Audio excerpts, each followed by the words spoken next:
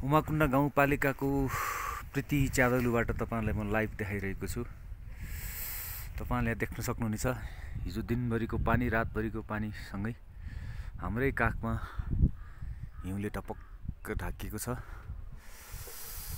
हेर्नुहोस् अझै हिउँ तल तलसम्मसम्म आइपुग्ने यहाँको स्थानीयहरू बताउनुहुन्छ। वरिपरि यो सोलु ओखलढुङ्गाको सम्पूर्ण बस्तीहरू। हिउँ धेरै पर परसम्म यहाँहरूले सेत्याम्मै फुलेका हिउँका श्रृङ्खलाहरू